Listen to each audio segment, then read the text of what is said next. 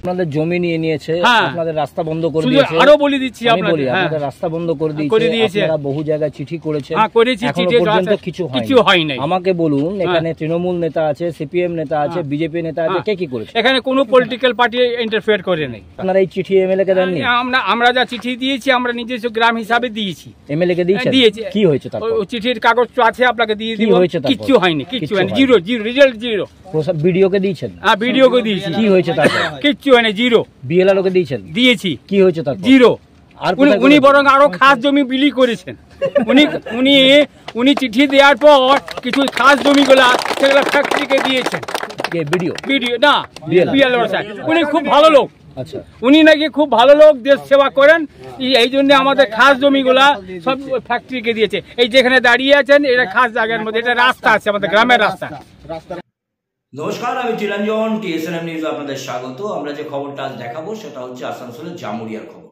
আপনারা জানেন জামুরিয়ায় যে বেসরকারি কারখানাগুলো চলছে বেশিরভাগ, সেখানে হঠাৎ আপনি প্রবেশ করতে পারবেন না। সেখানে হঠাৎ আপনি প্রবেশ করতে পারবেন না, তার অনেক রকম নিয়ম নীতি রয়েছে। কিন্তু যে কথা বলার নয়, আজ যে খবর হয়েছে, হয়তো অনেক জায়গাতেই সেই খবর দেখতে পাবেন না। সে যে কোনো কারণেই হোক দেখতে পাবেন না। কিন্তু মানুষ যেখানে বিক্ষোভ করছে, মানুষ যেখানে বলছে, সেই খবর দেখানো আমাদের হচ্ছে দায়িত্ব, সামাজিক দায়িত্ব। এবং সেই জায়গা থেকে আমাদের যে বিশেষ অনুষ্ঠান হয়, তুমি বলবে, আমি শুনব, সেই তুমি বলবে, আমি শুনবোতে আজ দেখাবো জামুরিয়ায় যারা বিক্ষোভ করছে, তারা কি বলছে? এবং কারখানাগুলো ঠিক কীভাবে নিজের মন মতো কাজ করছে, ঠিক কীভাবে চলছে সরকারের কথা মানার দরকার নেই, এলাকার উন্নতির কথা মানার দরকার নেই, মানুষের দাবি দেওয়ার দরকার নেই, কারখানা চলছে, তার শ্রীবৃত্তি হচ্ছে, আর কাঁদছে মানুষ, চিৎকার করছে মানুষ, তারা কাজ চাইছে, তারা সুবিধা চাইছে, কিন্তু কিছুই হচ্ছে না।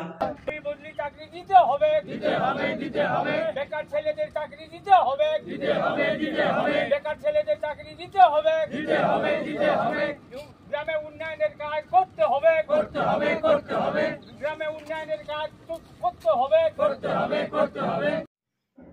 আমরা কিছু বলছি না কিন্তু আজকে এক বেসরকারি কোম্পানি জামুরিয়াতে সেখানে মানুষ বিক্ষোভ করছিল।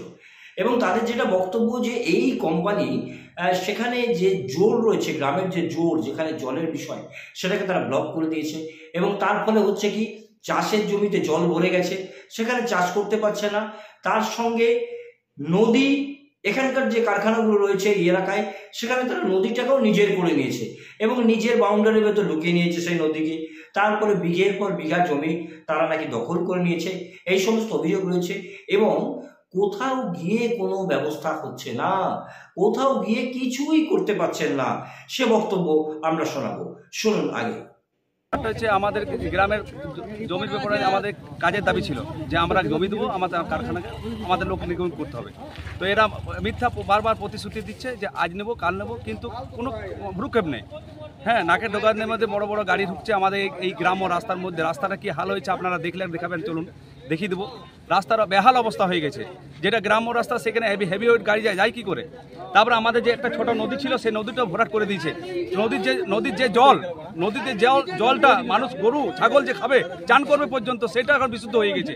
তারপরে আমাদের যে পার্শ্ববর্তী গ্রাম আমাদের যে গ্রাম ও রাস্তা ওরা কভার করে নিয়েছে। যে রাস্তায় আমরা এ, পাশের গ্রামে যেতাম হয়তো বিভিন্ন অনুষ্ঠানে কোনো সে বাসন্তী পূজায় কোনো কীর্তন সেই রাস্তা পর্যন্ত ব্লক করে দিয়েছে। তারপরে বিভিন্ন যে আমাদের কারখানার ভিতরে যেসব মানুষ আমাদের গ্রামে এখনও জমি দেওয়া হয়নি সেই জমিগুলো পর্যন্ত ঘেরা করে দিয়েছে। আমরা চাষ করব কি করে? আবার সেই চাষ করব ওদের বিষাক্ত জল আমাদের মাঠের উপর পড়ছে। তা আমরা কি করে সহ্য করতে পারি বলুন? তারপরে ব্যাপারটা হচ্ছে আমাদের গ্রামের সামনে যে কারখানা আমাদের গ্রামের লোক জমি দিয়েছে সেই বিকল্প রাস্তায় কোনো কাজ নেই। কাকে কাকে জানিয়েছেন আপনারা? অনেক ভিডিওকে জানিয়েছি আমাদের আহ, পুলিশ প্রশাসনকেও জানিয়েছি কিন্তু কোনো কোনো কানা উত্তর দেয়নি। এলাকার মানুষের বক্তব্য শুনলেন, শুনুন এক সরকারি অফিসারের অদ্ভুত এক কথা। তিনি বলছেন যে, এমন খবর তিনি পেয়েছেন, অভিযোগ এসছে নাকি? এবং তিনিই নাকি তদন্ত করতে গেছিলেন, তিনি আবার পুরো রিপোর্টটা ঊর্ধ্বতন কর্তৃপক্ষকে দিয়েছেন, অনেক দিন আগে দিয়েছেন। এবং এই অভিযোগ কিন্তু বারবারই এসছে। তিনি অনেক দিন আগে রিপোর্ট দিয়েছেন, কিন্তু ঊর্ধ্বতন কর্তৃপক্ষ তাকে এখনও কিছু জানায়নি। যে কারণে তিনি কি করবেন? অর্থাৎ এই বিষয়ে তার উপরের যিনি অফিসার, তার সঙ্গে কথা বলে নেয় ভালো। আবার আরেকজন সরকারি আধিকারিক বিডিও, তিনি বলছেন, তিনি অভিযোগ পেয়েছেন, তিনি বিষয়টা দেখছেন, ঊর্ধ্বতন কর্তৃপক্ষকে জানাচ্ছেন। শুনুন তাদের কথা। নদীটা দেখুন, আমার দেখার উপর তো নির্ভর করছে না। আমি গোটাটাই দেখেছি, আমি এর আগে অনেক কমপ্লেন হয়েছিল, আমি নিজে এনকোয়ারিতে গেছি ঠিক আছে? আমি দেখেছি ওটা মোটামুটি সাত থেকে আটটা মৌজা জুড়ে আছে হুম? এবং সেটা ফ্যাক্টরি পোর্শনেও ঢুকে আছে হুম? সেটা সম্বন্ধে আমাদের উদ্বোধন কর্তৃপক্ষের রিপোর্টও পাঠানো আছে। রাখতে পারে? রাখতে তো পারে না। কি ব্যবস্থা করেছেন কি ব্যবস্থা আমাদের তরফ থেকে করা যায় বলুন। আমরা কি করে বলব? আমরা আমাদের উদ্বোধন কর্তৃপক্ষকে জানিয়েছি তারা যদি কোনো ইনস্ট্রাকশন আমাদেরকে দিত সেটাই আমরা করতাম। ইনস্ট্রাকশন এখনও পর্যন্ত আমার কাছে অনেক দিন আগে এর আগে কমপ্লেন হয়েছিল তখন আমরা আমি ব্যক্তিগতভাবে বলছি মানে আপনি বলছেন উদ্বোধন কর্তৃপক্ষকে জানিয়েও কোনো লাভ হচ্ছে না উদ্বোধন কর্তৃপক্ষ সেটা বিএলও সাহেব বলতে পারবে ইন ডিটেলস আমি বলতে পারব না আপনাকে বললাম কথা ঠিক আছে। আমার নাম পরিতোষ মণ্ডল রেভিনিউ বলুন তাহলে সেটা তুমি এদিক চলে আসো আমি দিকে হ্যাঁ মৌজা দুটি সরকারি রেকর্ডের রাস্তা কারখানা কর্তৃপক্ষ বন্ধ করে দিয়েছে। এবং যে জোর নদী সেই নদী সম্পূর্ণ বন্ধ করে দেওয়ার ফলে প্রায় একশো ষাট বিঘা জমি জলমগ্ন চাষ করতে পারেনি। কি বলবেন? আচ্ছা এটা এই ব্যাপারে আমিও একটা সম্প্রতি একটা পিটিশন পেয়েছি। আমরা এটা খতিয়ে দিচ্ছি আমি উদ্বোধন কর্তৃপক্ষকে জানিয়েছি। আমি দেখছি বিষয়টা। ক্যাপচার করতে পারে করা যায়। এটা হয় বলে আমি জানি। সেক্ষেত্রে কোনো ব্যবস্থা সেটা নিশ্চয়ই আমি উদ্বোধন জানিয়েছি ওনারা যেরকম আমার নির্দেশ দেবেন আমি নিশ্চয়ই সেভাবে ব্যবস্থা জামুরিয়ার ইন্ডাস্ট্রিয়াল এলাকা এই যে এলাকা সেখানে বেশ কিছু কারখানা রয়েছে এবং সবচেয়ে আশ্চর্যের বিষয় জামুরিয়ার যে একটা ঐতিহ্য সিঙ্গারন নদী সেই নদীটি খুঁজে পাওয়া যাচ্ছে না। সেই নদীটি কেউ নিজের কোম্পানির ভেতর ঢুকিয়ে দিয়েছেন কেউ আবার সেটাকে ছোটোখাটো বড় করে বেঁধে দিয়েছেন। কেউ আবার পাশ কাটিয়ে দিয়েছেন। যা খুশি তাই হয়েছে। একটা নদীকে নিয়ে যা খুশি তাই হয়েছে, তার সঙ্গে সরকারি জমি, খাস জমি, রাস্তা যেটা, রাস্তা, সেই রাস্তায় লোহার বার পুঁতে সেটাকে গেট করে দেওয়া হচ্ছে। আর প্রশাসন, জামুরিয়া প্রশাসন, তারা বলছে তারা জানে, তারা তদন্তে গেছিলেন ঊর্ধ্বতন কর্তৃপক্ষকে বলেছেন ঊর্ধ্বতন কর্তৃপক্ষ এখনও কিছু জানাননি। কবে জানি তদন্তে গেছিলেন, কবে ঊর্ধ্বতন কর্তৃপক্ষকে জানানো হয়েছিল, অনেক দিন হয়ে গেল।